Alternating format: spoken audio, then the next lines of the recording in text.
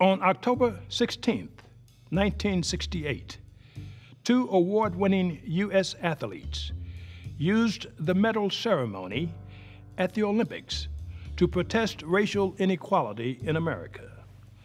Sprinters Tommie Smith and John Carlos placed first and third in the 200 meter dash at the Games in Mexico City.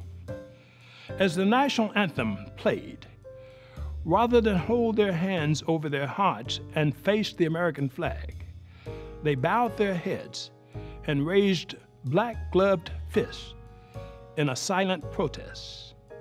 Both men removed their shoes and wore black socks to signify black poverty.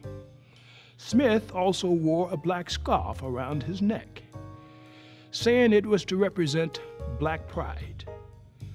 While supporters praised the athletes' bravery, their protest was largely perceived negatively as a show of disrespect.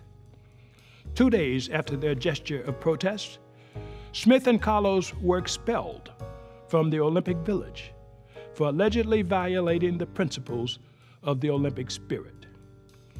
Despite their medal winning performances, they faced intense criticism and received death threats upon returning home.